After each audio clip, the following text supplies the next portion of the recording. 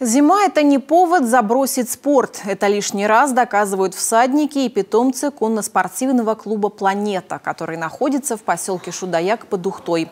Пары, так называют всадников и лошадей, выступающих вместе, готовятся к предстоящим республиканским соревнованиям по конкуру. После перерыва из-за отсутствия аккредитованной Федерации конного спорта в Коме официальный чемпионат и первенство республики по конному спорту не проводились. Однако в сентябре минувшего года уже новый Новая Федерация конного спорта в Республике Коми получила аккредитацию, а значит тренируются спортсмены теперь не только для поддержания формы.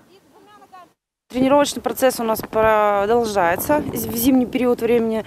Единственное, что зависит все от температуры, от погодных условий. То есть занимаемся мы до минус 20.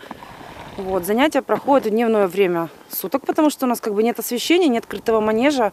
Ну и пока желательно, чтобы тренировки проходили в светлое время суток. Занимается у нас сейчас порядка около 30 детишек, потому что э, не все зимой хотят на морозе, но на самом деле это очень полезно. Чемпионаты первенства Коми по конкуру планируют провести в конце июня в селе Выльгард. Ожидается, что состязаться на арене, преодолевать барьеры и получать заветные медали будет полсотни пар из Сыктывкара, Ухты, Сосногорска и Сыктывдинского района. Теперь официально.